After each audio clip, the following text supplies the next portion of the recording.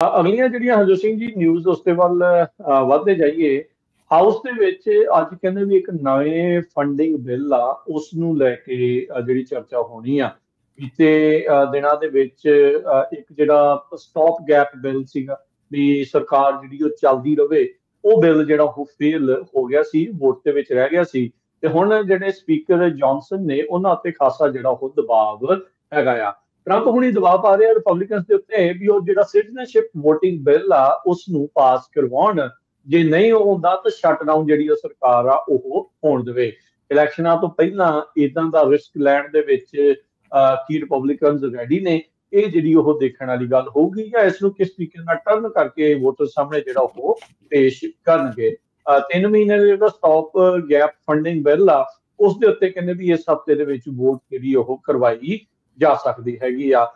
ਜਿਹੜੇ ਟਰੰਪ ਹੁਣਾਂ ਨੂੰ ਡਿਫਾਈ ਕਰਦੇ ਹੋਏ ਸਪੀਕਰ ਜਿਹੜੇ ਜੌਨਸਨ ਲੂਜ਼ੀਆਨਾ ਤੋਂ ਨੇ ਉਹਨਾਂ ਨੇ ਕਿਹਾ ਵੀ ਉਹਨਾਂ ਨੇ ਡੀਲ ਬਣਾਈ ਆ ਵਾਈਟ ਹਾਊਸ ਦੇ ਨਾਲ ਟਾਪ ਡੈਮੋਕ੍ਰੇਟਸ ਦੇ ਨਾਲ, ਜਿਸ ਦੇ ਨਾਲ ਜਿਹੜੀ ਸਰਕਾਰ ਦੀ ਫੰਡਿੰਗ ਆ, ਜਿਹੜੀ ਉਹ ਚੱਲਦੀ ਰਹੂਗੀ ਘੱਟੋ ਘੱਟ 20 ਦਸੰਬਰ ਤੱਕ।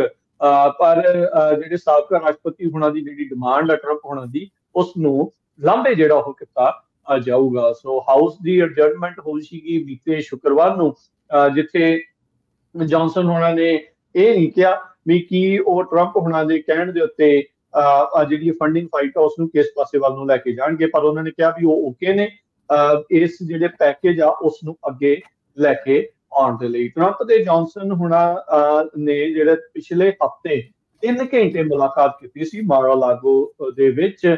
ਉਸ ਟਾਈਮ ਦੇ ਉੱਤੇ ਜਦੋਂ ਟਰੰਪ ਹੁਣਾ ਦੇ ਉੱਤੇ ਦੂਜੀ ਵਾਰ ਜਿਹੜਾ ਅਸੈਸੀਨੇਸ਼ਨ ਅਟੈਂਪਟ ਕਰਨ ਦੀ ਜਿਹੜੀ ਕੋਸ਼ਿਸ਼ ਆ, ਉਹ ਹੋਈ ਸੀਗੀ। ਸੋ ਹੁਣ ਫੈਡਰਲ ਸਰਕਾਰ ਦੀ ਸ਼ਟਡਾਊਨ ਹੋ ਜਾਊਗਾ। ਜੇ ਕੋਈ ਵੀ ਬਿੱਲ ਨਾ ਪਾਸ ਹੋਇਆ 1 ਅਕਤੂਬਰ ਨੂੰ ਤੜਕੇ ਸਵੇਰੇ 12:01 ਮਿੰਟ ਦੇ ਉੱਤੇ ਕਾਂਗਰਸ ਉਸ ਤੋਂ ਪਹਿਲਾਂ ਪਹਿਲਾਂ ਸ਼ਾਰਟ ਟਰਮ ਫੰਡਿੰਗ ਬਿੱਲ ਜਿਹੜਾ ਉਹ ਪਾਸ ਕਰ ਦਊਗੀ।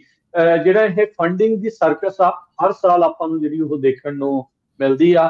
ਪਹਿਲੋਂ ਜਿੱਥੇ ਇੱਕ ਜਣਾ ਉਹ ਕਹਿੰਦੇ ਆ ਵੀ ਅਸੀਂ ਸਾਨੂੰ ਆ ਚੀਜ਼ਾਂ ਚਾਹੀਦੀਆਂ, ਫਿਰ ਉਹ ਫੇਲ ਹੁੰਦਾ ਆ। ਫਿਰ ਉਹ ਦੂਜੇ ਦੇ ਨਾਲ ਸਮਝੌਤਾ ਕਰਦੇ ਆ, ਫਿਰ ਫੇਲ ਹੁੰਦਾ ਆ, ਫਿਰ ਅਖੀਰ ਦੇ ਵਿੱਚ ਜਾ ਕੇ ਕੁਝ ਮਿੰਟ ਪਹਿਲਾਂ ਜਾਂ ਕੁਝ ਘੰਟੇ ਪਹਿਲਾਂ ਜਾ ਕੇ ਇਵੈਂਚੁਅਲੀ ਜਿਹੜਾ ਉਸ ਨੂੰ ਪਾਸ ਕਰ ਦਿੰਦੇ ਆ। ਇਸ ਵਾਰ ਇਹ ਦੇਖਣਾ ਹੋਊਗਾ ਵੀ ਇਹ ਕੌਣ ਇੱਕ ਦੂਜੇ ਦੀ ਜਿਹੜੀ ਬਾਹ ਜ਼ਿਆਦਾ ਮਰੋੜਨ ਦੇ ਵਿੱਚ ਜਿਹੜਾ ਹੋ ਰਹਿੰਦਾ ਆ। ਸੋ ਸੇਵ ਐਕਟ ਨੂੰ ਲੈ ਕੇ ਜਿਹੜੇ ਰਿਪਬਲਿਕਨਸ ਖਾਸ ਕਰਕੇ ਜਿਹੜੇ ਟਰੰਪ ਆ, ਉਹ ਰਿਪਬਲਿਕਨਸ ਦੇ ਉੱਤੇ ਦਬਾਅ ਪਾ ਰਹੇ ਆ ਵੀ ਜੇ ਉਹ ਨਹੀਂ ਹੁੰਦਾ, ਤਾਂ ਉਸ ਨੂੰ ਜਿਹੜਾ ਉਹ ਪਾਸ ਨਾ ਕਰਵਾਇਆ ਜਾਵੇ। ਉਹ ਜ਼ਿਕਰ ਜੋ ਗੱਲ ਆ ਵੀ ਅਮਰੀਕਾ ਦੇ ਵਿੱਚ ਆਲਰੇਡੀ ਇਹ ਕਾਨੂੰਨ ਹੈਗਾ ਆ।